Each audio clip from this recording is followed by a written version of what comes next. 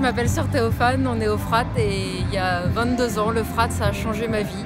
J'y ai rencontré le Christ, j'ai découvert une église et à partir de là, je me suis euh, sentie infiniment aimée. J'ai eu voilà, le désir de découvrir qui était celui qui m'a tant aimée. Petit à petit, ça m'a amené à devenir bénédictine à l'abbaye de Jouarre pour ma plus grande joie. La vie bénédictine, c'est comme toute vie où Dieu est impliqué, c'est une aventure.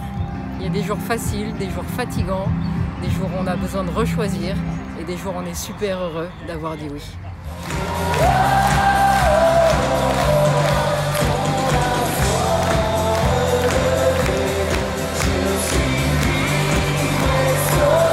Je suis ici d'abord pour rendre grâce pour l'appel que j'ai reçu ici, la force qui m'a été donnée pour, euh, y répondre et puis pour témoigner de la joie que c'est euh, de répondre à l'appel de Dieu